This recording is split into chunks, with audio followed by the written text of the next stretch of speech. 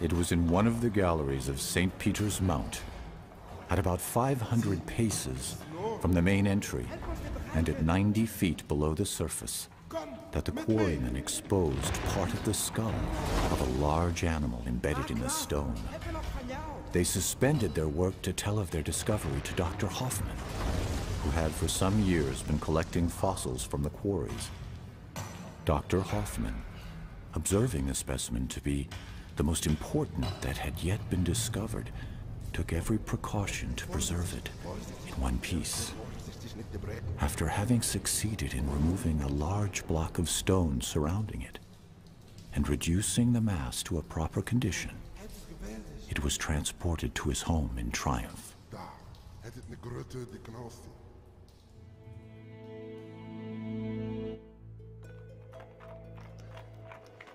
25 years later, after the occupation of Maastricht by the French Revolutionary Army, ah, Le voilà enfin Le voilà enfin. Messieurs, je vous en prie, portez the famous fossil shows up one cold winter night at the National Museum of Natural History in Paris.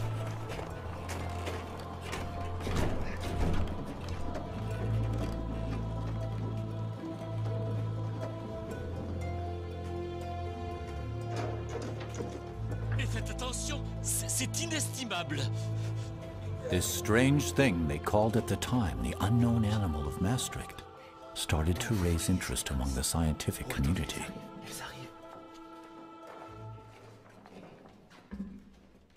Allons, allons.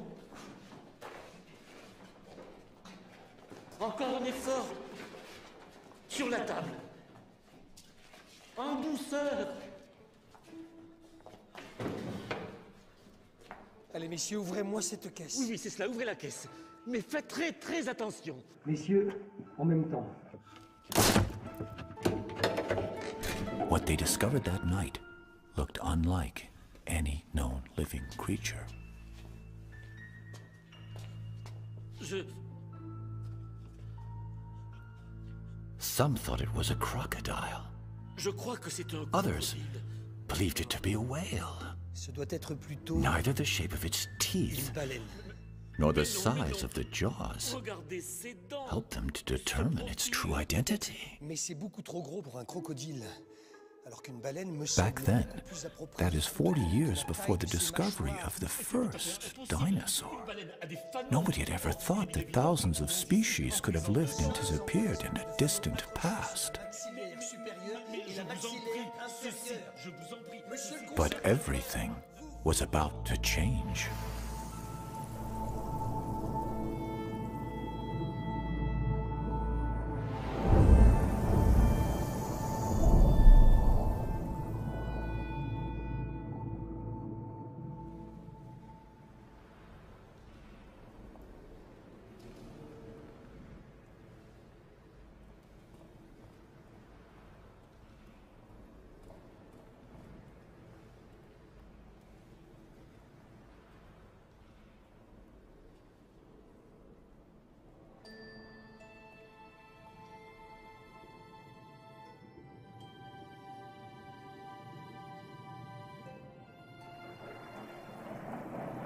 I'm sure marine dinosaurs still exist. My apologies for intruding upon your thoughts, mademoiselle. But strictly speaking, only reptiles that walked on dry land are called dinosaurs. If they lived under the water, they are called marine reptiles. And they all disappeared a very, very long time ago. What happened? You'll see, Julie.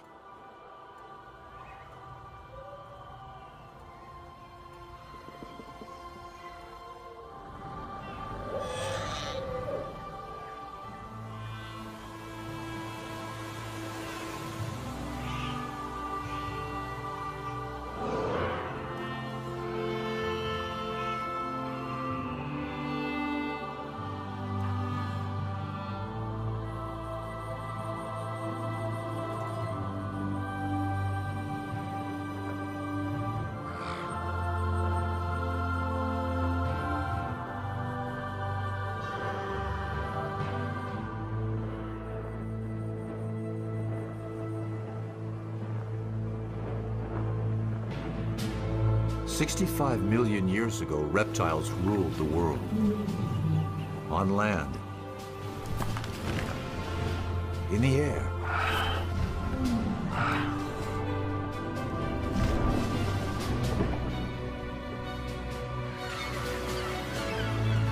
and reptiles were kings in all the seas as well.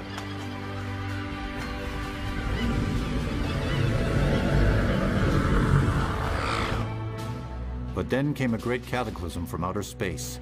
An asteroid 12 miles in diameter struck the Earth. This asteroid's massive impact unleashed the power of more than 100 atomic bombs. The sky went dark, and the Earth's climate changed drastically. 70% of all life on the planet perished. And with the end of the dinosaurs, it was also the end of the reign of the reptile in the sea world. And when did you say that happened? 65 million years ago. So then humans came right after that. Humans will come a little later. How much later? 65 million years. You're kidding. Modern humans like you and I only appeared barely 200,000 years ago. In comparison to the age of the Earth, that's a blink of the eye. 200,000 years? An instant in geological time. Somewhat difficult to comprehend, is it not? Comparing thousands and millions and, and even billions of years. Don't you agree? Um, Then follow me, Julie. And when you want to stop time, say stop. stop? All right then, forward to the past.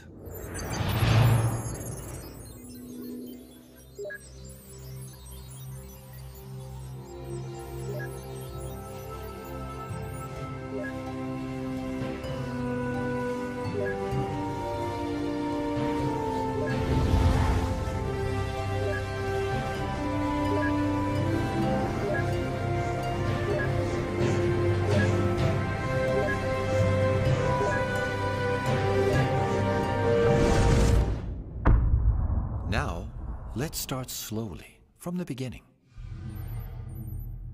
Earth forms four and a half billion years ago. Then life appears but remains microscopic for three billion years. In this time spiral, only the last turn interests us. That leads to our time. Let's consider this as a 12-hour clock. 540 million years ago, at 2 o'clock, the primary era begins. Life grows and evolves in every environment. At 7:30, the secondary era, or the Mesozoic begins. It is the age of reptiles. Including the famous dinosaurs. Yes, as well as flying and marine reptiles. The next and last era, the Cenozoic, is the age of mammals. On this clock, Homo sapiens, our minuscule species, appears just eight seconds before 12. The Mesozoic takes place between the two major ecological crises that led to the extinction of many species on Earth, the largest at 730, and the last right there at 10 to 11. That one caused the extinction of the dinosaurs and large marine reptiles. But how did it start? Well, first, you'll need a microscope. Life on Earth starts in the water as bacteria three and a half billion years ago. Slowly, this microlife evolves. Then, 650 million years ago, life becomes visible to the naked eye, soft-bodied organisms. The following 400 million years bring with them an explosion of life. New morphological forms appear, reaching considerable sizes.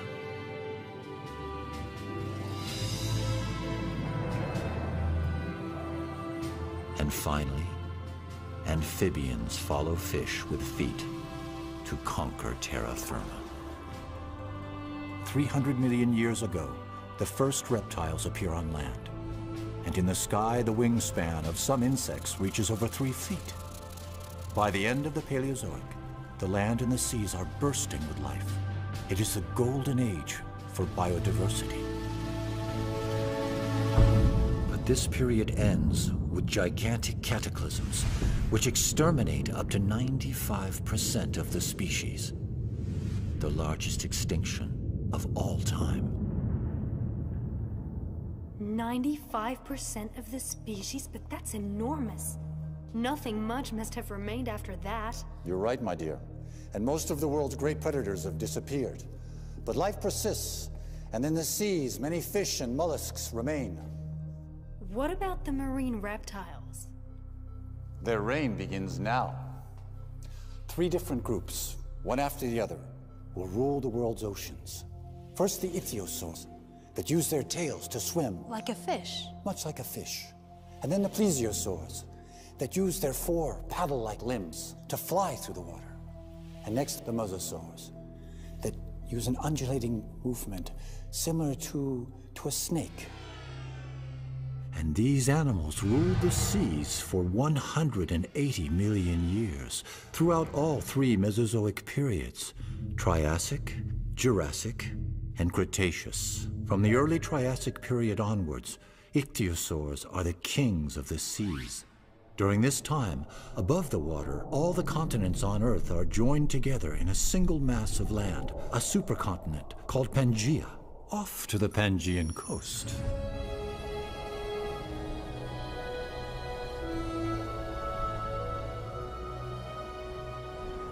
Switzerland? Yes. At this time, most of Europe is underwater, a shallow and warm sea.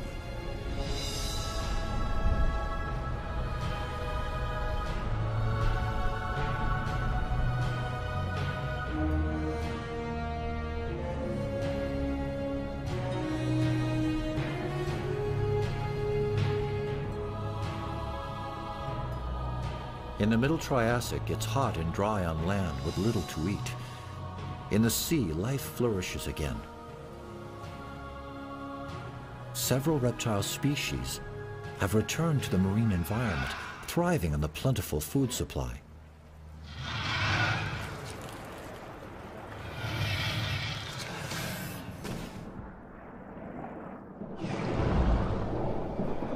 The Tanystropheus hold a world record. In proportion to their bodies, they have the longest necks ever recorded. With his flat teeth, this placodont mostly eats seashells and mollusks.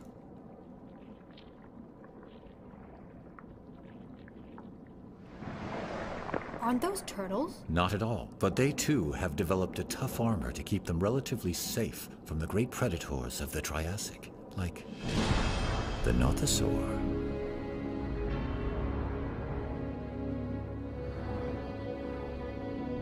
Over 13 feet long. Very dangerous, and an excellent swimmer. But it is no chance of catching up with a Mixosaurus. It looks like a dolphin. Except it's a reptile. Like marine mammals today, it too must come to the surface to breathe. It belongs to the large group of ichthyosaurs, which will rule the seas for some 150 million years.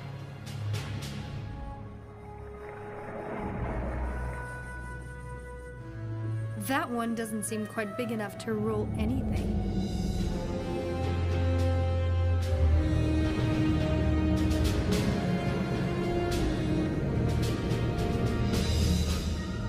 There are also some very large ichthyosaurs, some measuring up to 75 feet long and weighing 50 tons, like the Shonisaurus, the biggest of them all. Like all ichthyosaurs, it lives in groups and mainly eats mollusks and small fish.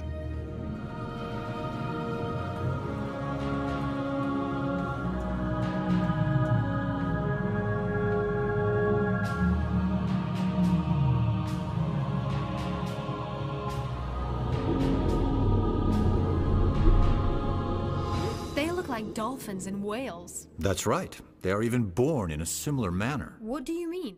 Well, let's hear from an expert. the paleontologist Ryosuke Motani. He has just finished studying some very fine specimens from a famous fossil site in Germany.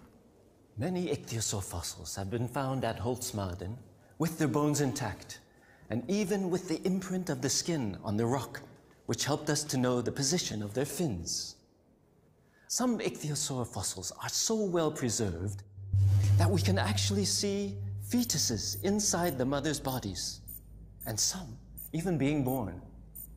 Unable to get out of the water to lay their eggs like other reptiles, ichthyosaurs gave birth in the water. The babies came out tail first, like dolphins today. Another one of the ichthyosaur's characteristics are its huge eyes, protected by donut-shaped bones, able to withstand extreme water pressure. A Jurassic ichthyosaur, the Ophthalmosaurus, stands out in the animal kingdom as having the largest eyes in proportion to its body. With these enormous eyes, it could make out its prey in the darkness of great depths.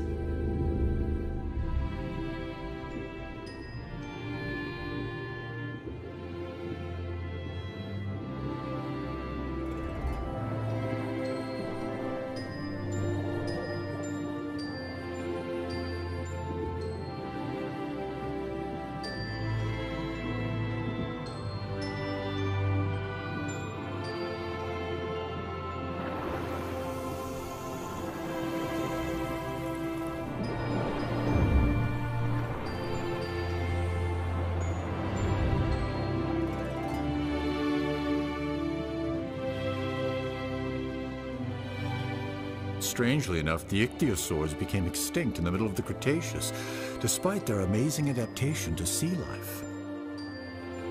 But how can we know so much about species that became extinct 90 million years ago? Perhaps because of the large number and the quality of fossils left. And, of course, thanks to those who discovered them. Here we are in London, in one of the most beautiful galleries devoted to Mesozoic marine reptiles. Nathalie Bardet is currently the French expert on these animals. A long time before dinosaurs were discovered, the remains of marine reptiles had been known to fossil collectors. Mary Anning. In the early 19th century, she was a child when she started to collect fossils around her home along the Dorset coast in southern England. During her lifetime, with an amazingly sharp eye, she found some of the most famous fossil, ichthyosaur and plesiosaur, exhibited here at the Natural History Museum of London. One of the most complete plesiosaur skeletons ever found was Rhomaleosaurus.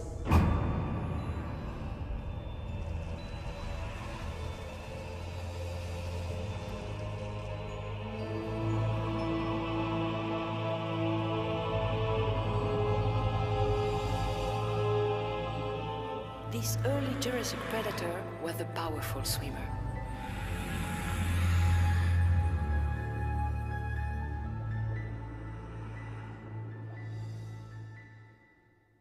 During the Jurassic period, a new group of marine reptiles takes over, the plesiosaurs. At the beginning of the early Jurassic, Pangaea has started to break up and drift apart into different pieces. It is still hot, but the climate is becoming much more humid. Such conditions are perfectly suited to the development of life all over the world.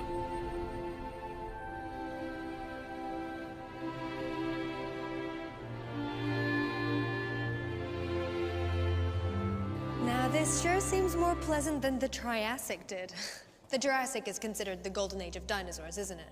In fact, it's the golden age of life in general, and even much more so for the reptiles. Be they earth, flying, or marine reptiles. With their four strong paddles, plesiosaurs soon become the new kings of the seas. The first dinosaur to be named is Megalosaurus, which means great lizard in Latin. A well-deserved name for a 30-foot-long carnivore with a huge appetite.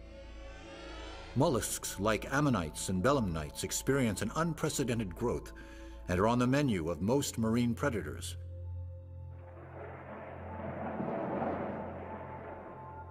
By the late Jurassic, some animals reach record sizes like the Brachiosaurus, over 100 feet long, and can weigh more than six elephants. Godzilla, that is the nickname given to this large marine crocodile discovered in the Andes. With large bony plates on its back, the Stegosaurus, a three-ton plant eater, is a contemporary of the very first birds. At the end of the Jurassic period, as the continents continue to drift, new oceans appear, and new plesiosaur species rule the deep.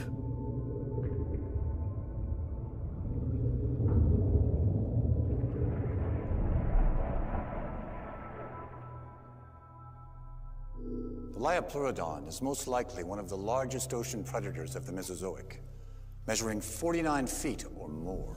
That big? Here, this is one of its teeth. It's for you. Thank you. You see, the Liopleurodon had no reason to fear any creature, save perhaps another Liopleurodon.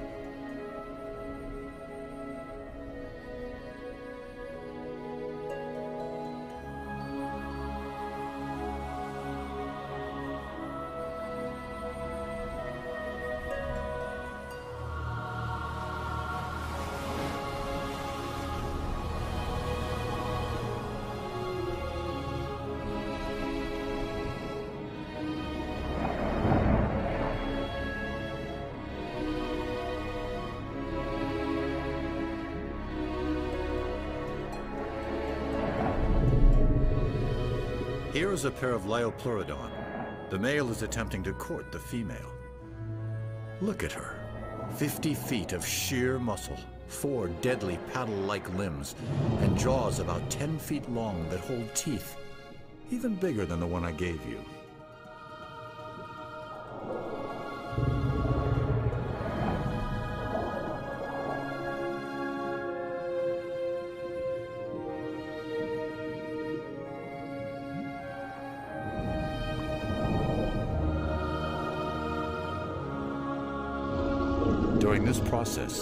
The male makes himself extremely vulnerable to the female.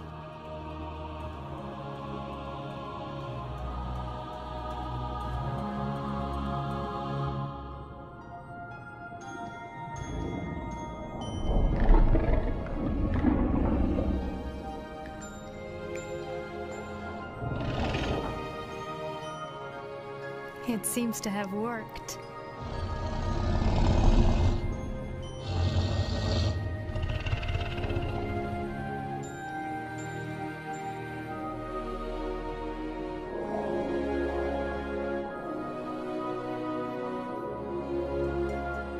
That she's chosen him as her partner, the pair needs to head to the safer coastal waters to reproduce.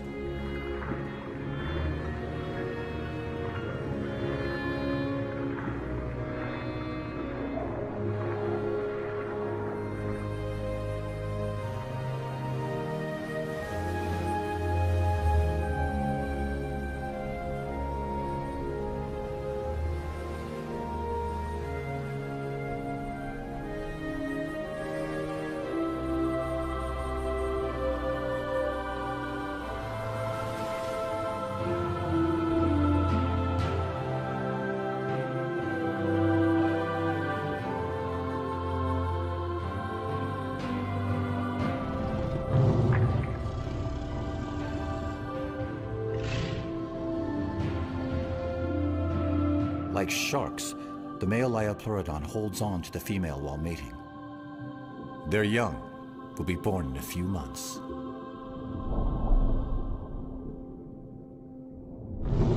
What happened? It seems that upon separating, she has accidentally injured his eye. The pain has made him lose consciousness for a while. In the end, though, the Liopleurodon remains a super predator that lives alone.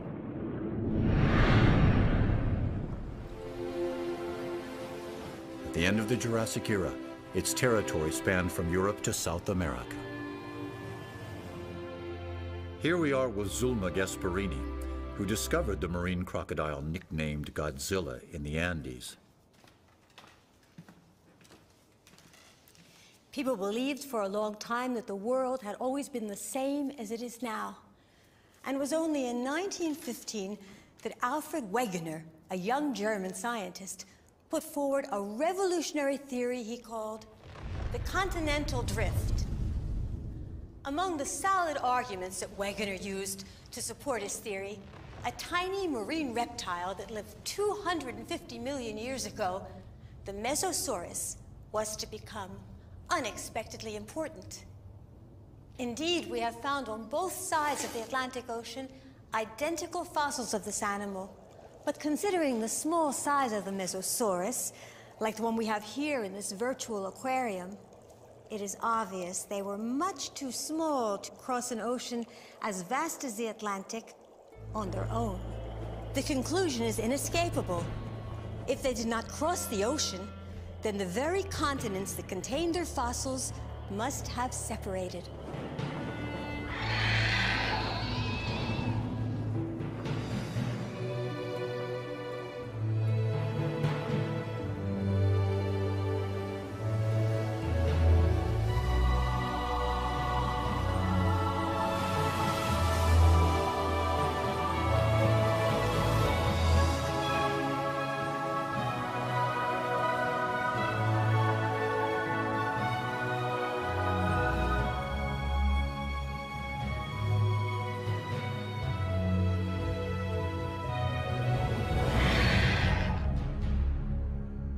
The Jurassic was the age of giant animals.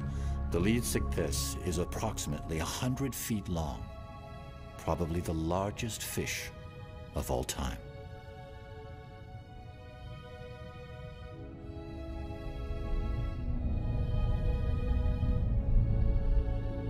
What are these long-necked plesiosaurs called? Those are elasmosaurs. They're gulping down gastroliths, stones they swallow in order to help their digestion. So, what do they actually eat? Mollusks and a lot of fish, judging from their long, sharp teeth.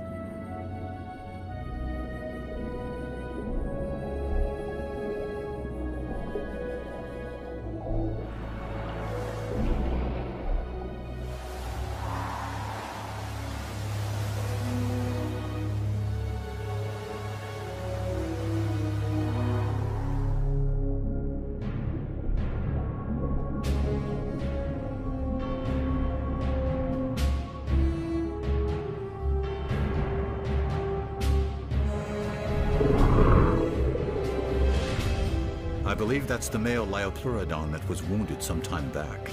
Oh yes. With one eye missing, it's not easy.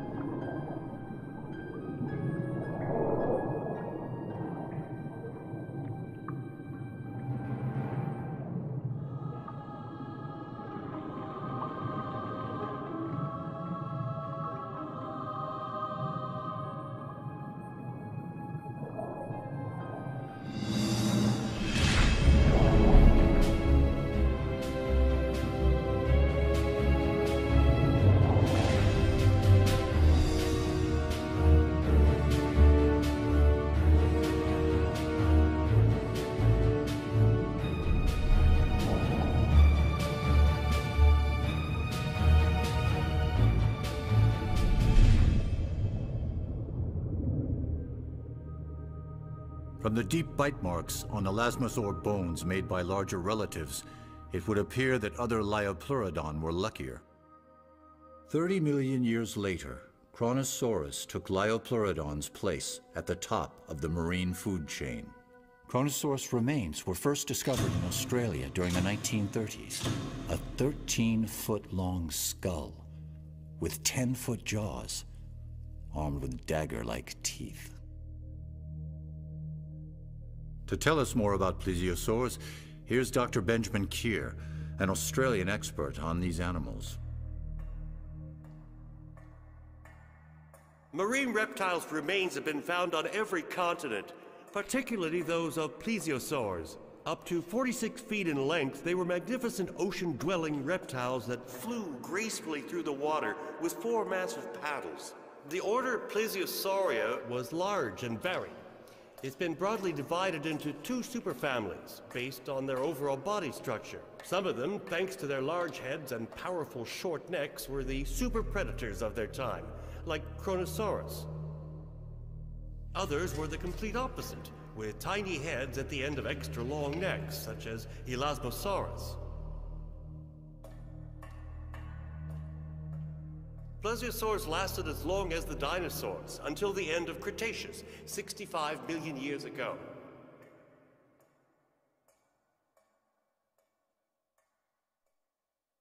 The late Cretaceous is the very last period of the Mesozoic era, and it is the age of mosasaurs. The land masses of the Earth have nearly reached their present positions. The interior seas of the Americas retreat, but Europe is still partly covered by shallow waters.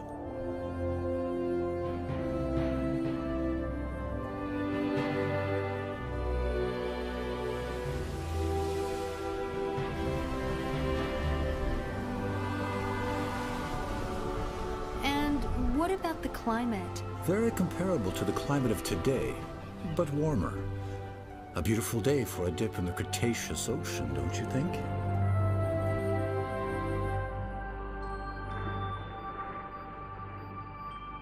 As has been the case for millions of years, mollusks are still a favorite meal for most predators.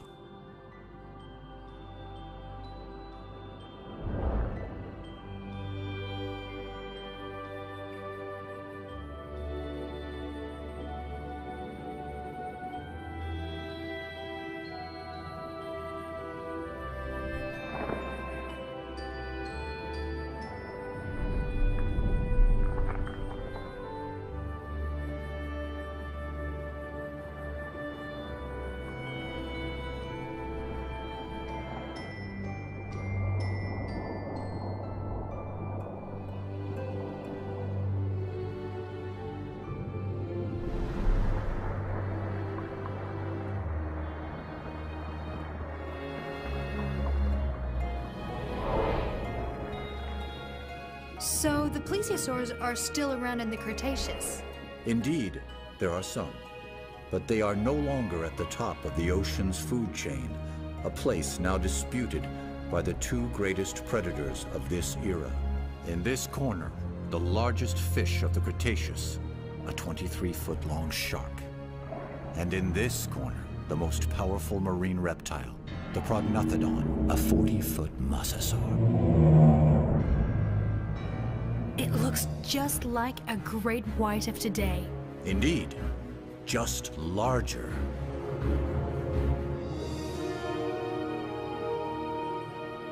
But the shark is never going to measure up to that. We can't be too sure. You see, it has a distinct edge over its opponent. The shark doesn't need to come up to the surface to breathe, so...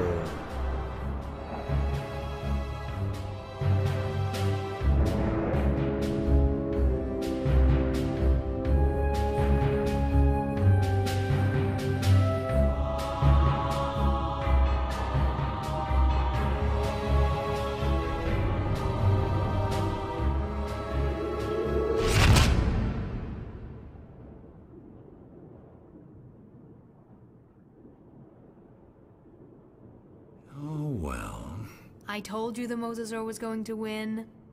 This time, yes. But it wasn't always the case. We've even found shark teeth embedded in mosasaur bones. So the sharks did get their teeth into them from time to time.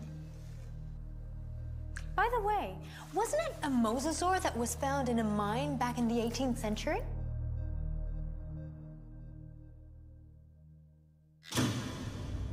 Here we are very close to the mine where the famous unknown animal of Maastricht was found around 1770.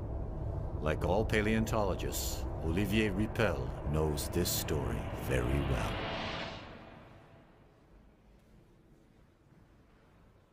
In 1795, when the fossilized mosasaur of Maastricht arrived in Paris, Georges Cuvier was a young 26-year-old anatomist who had just started working there at the Museum of Natural History. This skull was the first great fossil ever to be thoroughly studied by scientists who found it quite difficult to classify this creature. But it was Georges Cuvier who would provide the solution based on comparative anatomy.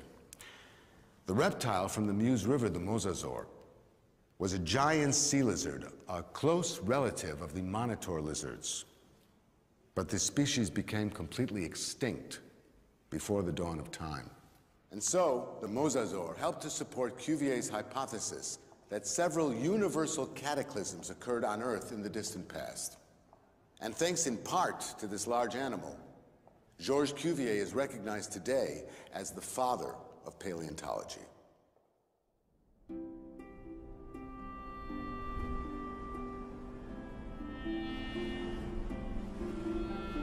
At the end of the Cretaceous, the interior seaway running through the middle of North America had not yet completely disappeared.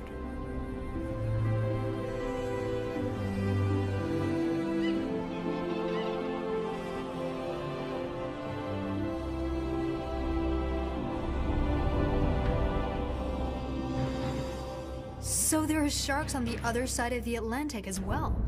In addition to marine reptiles, they are found in all the oceans. Contrary to dinosaurs, marine animals don't have any borders.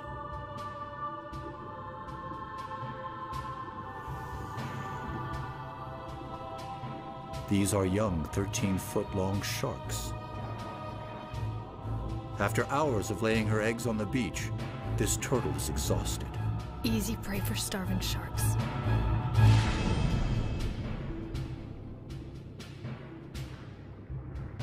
Ah, but they are not alone. A mosasaur.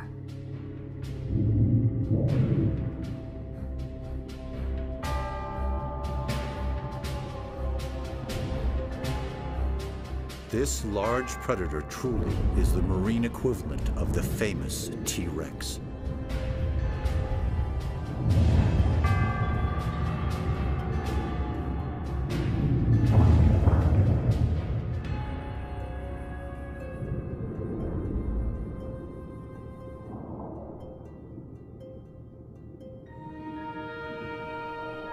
The mosasaur will become the last ruler of the ancient seas.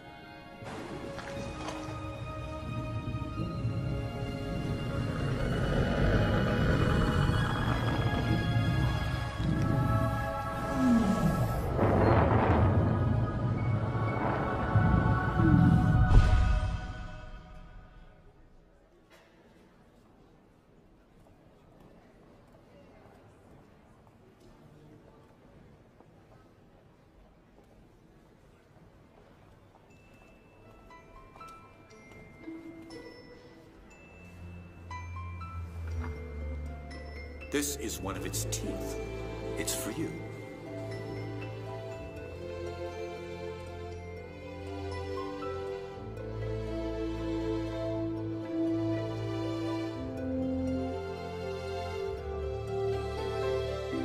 Without fossils, no one would have ever dreamed that there were successive epochs in the formation of the Earth.